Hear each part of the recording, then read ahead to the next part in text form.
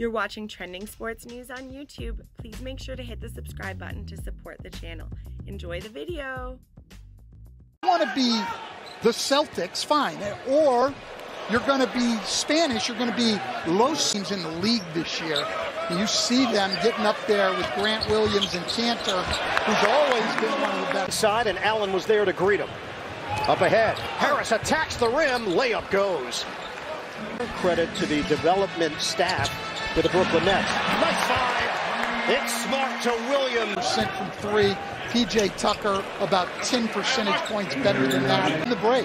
Stan, that is 12 Brooklyn turnovers. Boston with a chance to take its largest lead. It's smart. Got it for three. Miscommunication. And they've been great in the fourth quarter. Number two offense in the NBA in the fourth. Dinwiddie. Step back Jay. Oh, he's got it in a foul. An electric slide with the play. 45 seconds to go, second quarter. Theis the roll to the rim. A rack attack. Into the middle of this zone at all. That is the most vulnerable part, especially of the 3-2. There finally.